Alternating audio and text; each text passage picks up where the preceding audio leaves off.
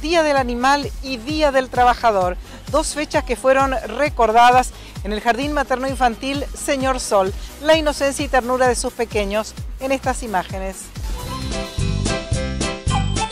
Sobre finales del mes de abril, concretamente el 29, se recuerda el Día del Animal y el propósito central de esa fecha es recordar la importancia que tienen las especies que comparten con nosotros el planeta y a la vez concientizar sobre su protección, cuidado y defensa.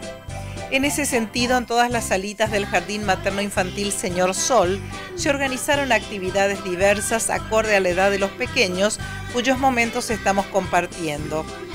Hubo trabajitos cuya creatividad se reflejó a través de artes plásticas, pinturas y collage que enmarcaron las fotografías de los niños y sus mascotas.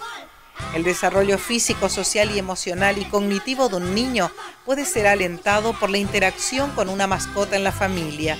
Especialmente para los niños, son maravillosos facilitadores sociales, siendo muchas veces un puente entre un niño menos sociable y un extrovertido.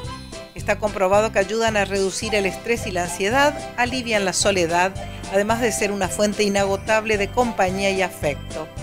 La expo del Día del Animal incluyó una muestra de animalitos de granja que despertaron la curiosidad de los bebés y niñitos de Señor Sol que acompañados de sus padres disfrutaron a pleno.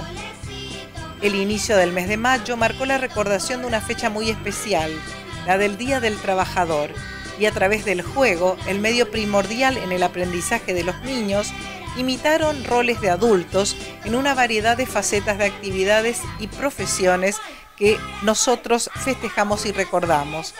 Conocer su mundo, descubrir su cuerpo, conocer a otras personas y relacionarse con estas se plasmó con un desfile cuyas imágenes estamos compartiendo.